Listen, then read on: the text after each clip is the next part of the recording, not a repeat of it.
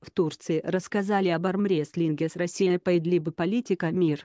19.1. 10 февраля 2020 года в Турции рассказали об армрестлинге с Россией по Идлибу.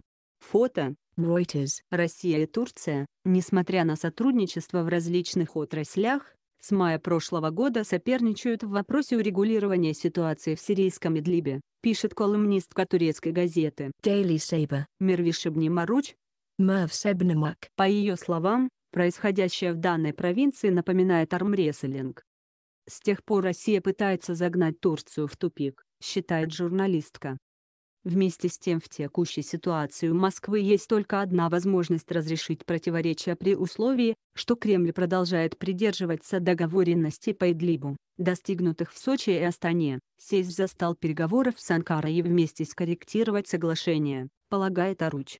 По ее мнению, в противном случае между Сирией и Турцией в конце концов произойдет вооруженное столкновение. Будет ли Россия выбрасывать в мусор договоренность о зоне деэскалации в Идлибе и Сочинское соглашение, игнорируя жизни трех миллионов человек в Идлибе? Выберет ли она самый простой путь бомбить Идлиб, как было во всех других частях Сирии, где она поддерживала режим президента Сирии Башара Асада? Задается вопросами колумнистка. Любые боевые действия в Идлибе спровоцируют появление большого потока беженцев в сторону Турции, чего Анкара не желает допустить, объясняет Аруч. С этим связана и поддержка, оказываемая турецкой стороной боевикам в Идлибе, и формирование в регионе собственного крупного военного контингента, усиленного бронетехникой. Боевые действия в Идлибе между сирийскими военными и боевиками активизировались в январе, несмотря на инициированный Россией и Турцией режим прекращения огня.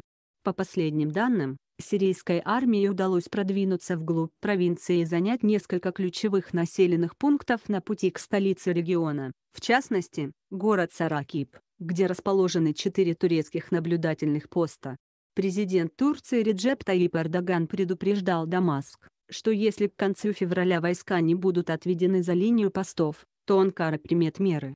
После новостей о взятии сирийцами Саракиба стало известно о переброске в регион дополнительного военного контингента, бронетехники и подразделений спецназа. Кроме того, на фоне этих событий в Идлибе только за февраль погибли более 10 турецких силовиков. Что происходит в России и в мире?